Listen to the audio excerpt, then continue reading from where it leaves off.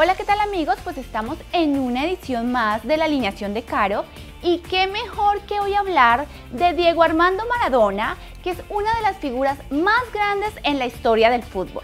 Desde su incomparable talento como futbolista y los grandes recuerdos de gloria, así como los fracasos y las malas decisiones, y por ello hoy vamos a hacer un recuento de los cinco momentos de mayor gloria en la carrera como jugador del Pelusa.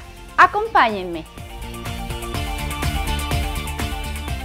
El paso de Maradona por el Barcelona fue efímero, pues la expectativa que se generó en torno a su llegada al club Blaugrana no pudo ser más que un par de pinceladas que se vieron afectadas por las lesiones y los problemas con la directiva pero sí hubo algún momento en el que vimos lo que pudo llegar a ser la dupla Maradona-Barcelona y fue cuando el Barcelona disputó la Copa de la Liga contra el odiado rival el Real Madrid.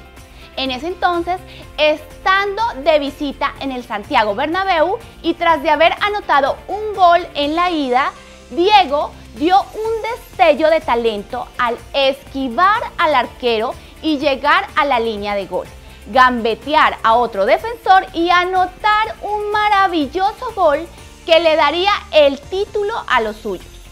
La afición merengue no tuvo más que reconocer el talento derrochado por el 10, ovacionando el gol a pesar de que significara la eliminación del Real Madrid.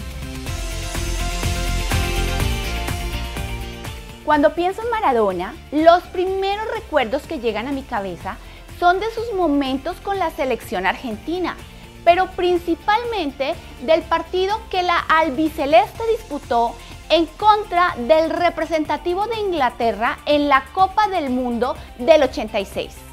A cuatro años de las guerras de las Malvinas entre Inglaterra y Argentina, ambas naciones se medían en el Campeonato Mundial de Fútbol y la tensión no podía ser más alta.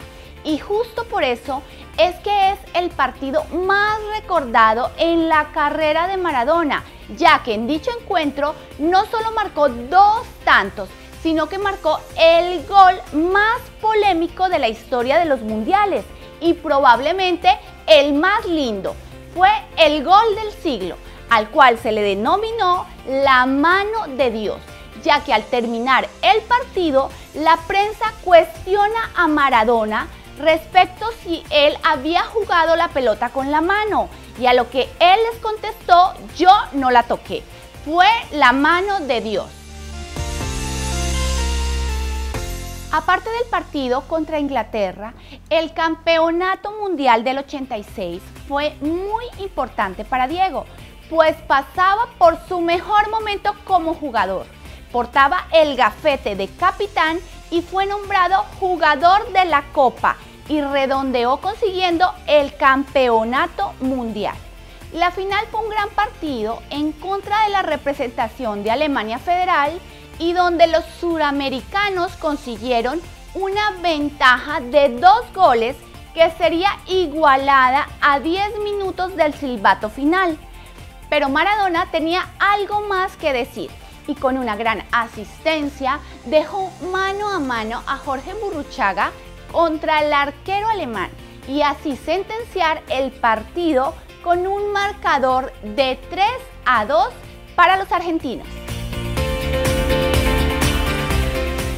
Bueno, hasta el momento Diego Armando era reconocido principalmente por sus logros con la selección, pero luego de coronarse campeón mundial en el 86, regresó a Nápoles para dar inicio a una racha de victorias a las que el equipo napolitano no estaba acostumbrado, pero de la mano del mejor jugador del mundo todo se podía.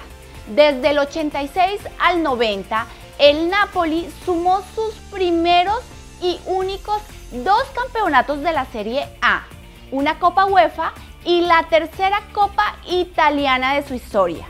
Obviamente, mucho tuvo que ver la participación de Diego para conseguir dichos títulos.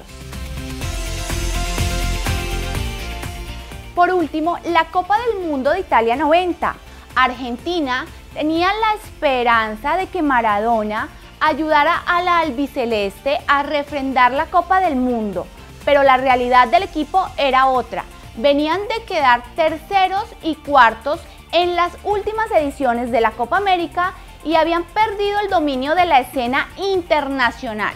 Su equipo comenzó el torneo de mala forma perdiendo contra Camerún, pero poco a poco el plantel mejoró y consiguieron avanzar a los octavos como tercer lugar y el rival en turno era un viejo conocido, Brasil, quien dominó el encuentro, pero una asistencia de Maradona cerca del final le dio el pase a los suyos.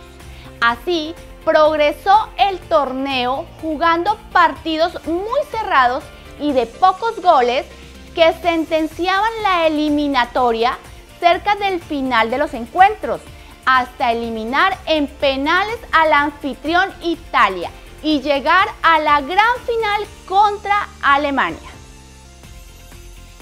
Ha sido todo por hoy, pero recuerden que seguiremos con muchos daticos interesantes en la alineación de Caro. Me despido con un besito.